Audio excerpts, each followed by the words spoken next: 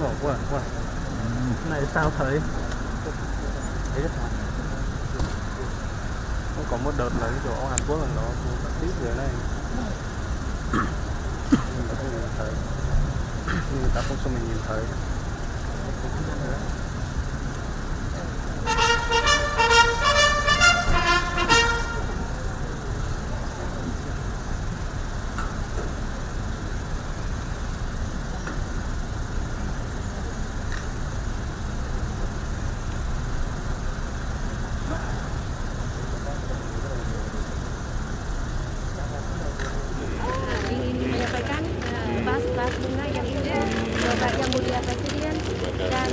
Thank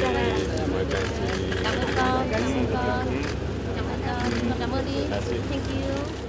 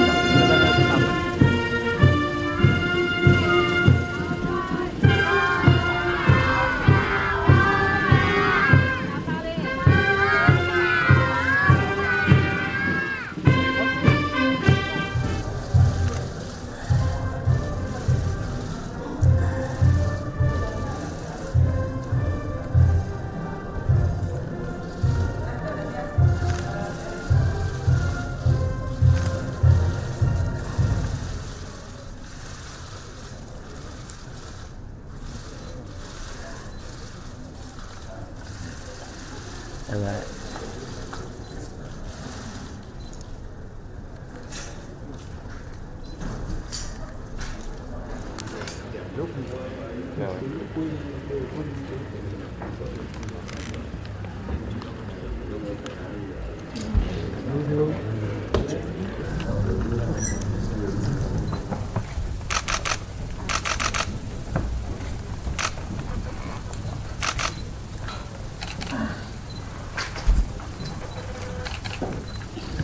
dan delegasi dapat kembali ke Vietnam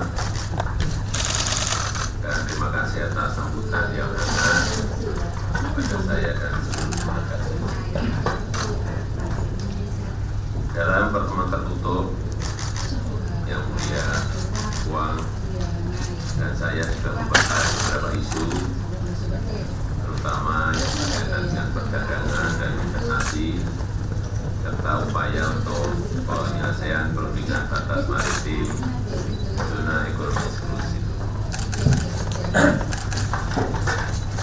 Dan Tôi xin được trân trọng kính mời Ngài Trần Đại Quang, Chủ tịch nước nước Cộng hòa xã hội chủ nghĩa Việt Nam và Ngài Joko Widodo, Tổng thống nước Cộng hòa Indonesia cùng chứng kiến lễ ký kết văn kiện.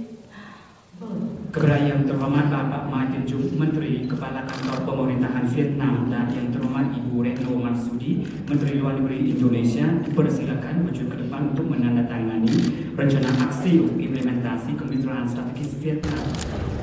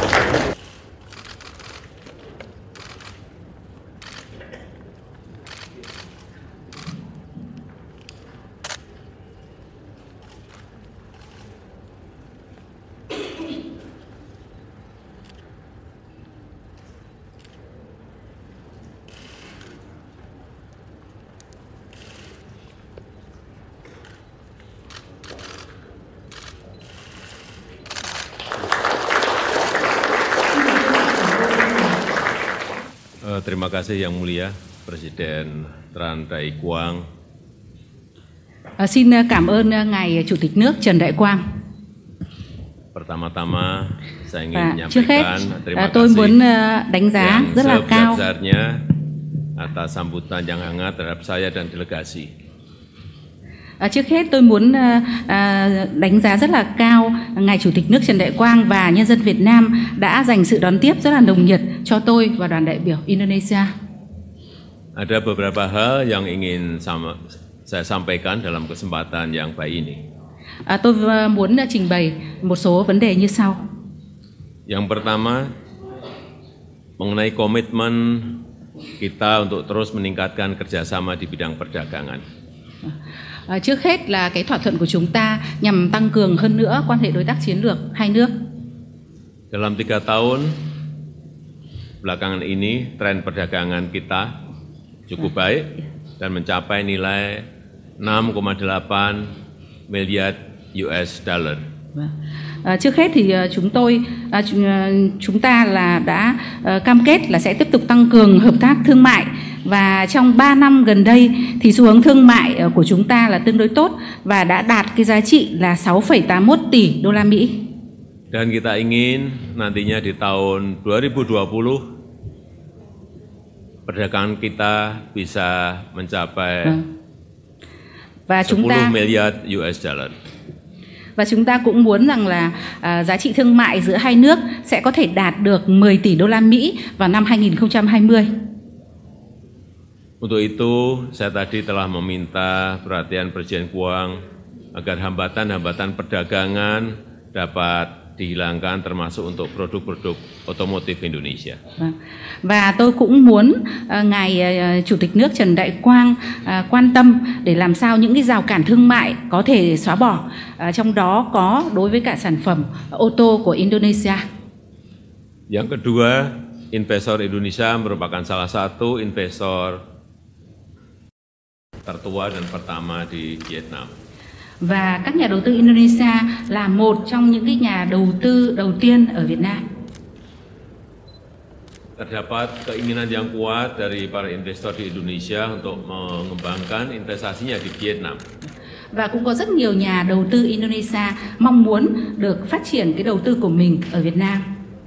Oleh sebab itu tadi saya menitipkan kepada Presiden Guang untuk dapat melindungi investor Indonesia dan memberikan perlakuan yang adil dan baik. Yeah. À, chính vì vậy tôi cũng muốn đề nghị à, ngài à, chủ tịch nước à, Quang là có thể à, bảo hộ à, hỗ trợ các nhà đầu tư Indonesia cũng như mà dành cho họ một cái sự đối xử công bằng.